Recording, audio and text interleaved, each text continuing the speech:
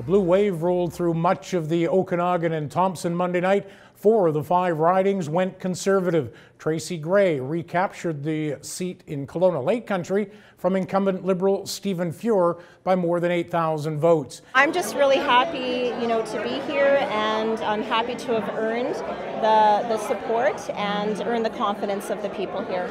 I want to thank the community. I had a lot of support here, and um, and they were, I mean, energizing for me, and uh, it was very, very gratifying to deliver some of the big projects this community needed. In the North Okanagan Shuswap, Mel Arnold won his second re-election.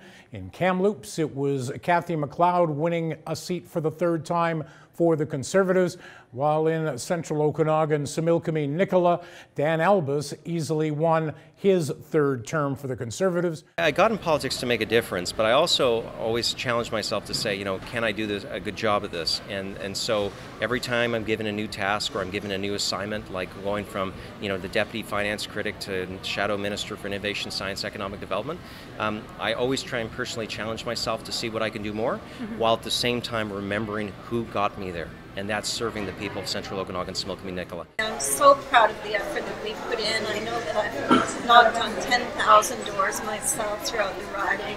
The only riding to go non-conservative was in the South Okanagan. Richard Cannings holding that for the NDP.